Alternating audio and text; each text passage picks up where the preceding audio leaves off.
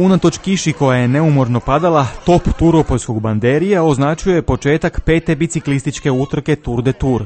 Ukupno više od 300 natjecatelja vozilo je turističku ProTuristi XC utrku. Pobjednici utrke Turist su Ivan Dvoraček u muškoj i Suzana Antolović u ženskoj kategoriji.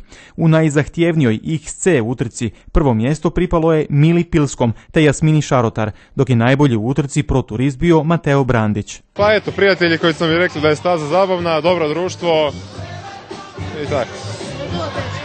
Pa je, je, uvjeti su, evo, ne baš idealni, ali izvozili smo, preživjeli. Osim već spomenutih i dječje utrke, organizatori udruga Zdrav duh u program su uključili popratni sadržaj, bubble ball nogomete te prezentaciju streličarstva. Pa nekako moj brat je bio jako uzbuđen i on kao idemo, idemo, idemo i onda me nekako uspio nagovoriti. Biciklijada Tour de Tour rekreativnog je karaktera, iako organizatori svake godine dijele stimulativne nagrade.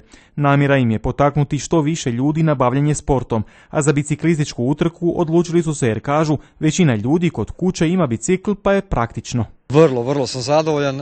Vidim da biciklistička kultura u gradu Velikoj Gorici lagano raste, kao i sportska kultura. Dobro, nije biciklizam jedini sport, ali evo, mi se kroz ovaj naš event koji je kroz taj događaj koji je zamišljen kao dan sporta. Mi se trudimo ovoga, stimulirati ljude da se bave razno raznim sportovima.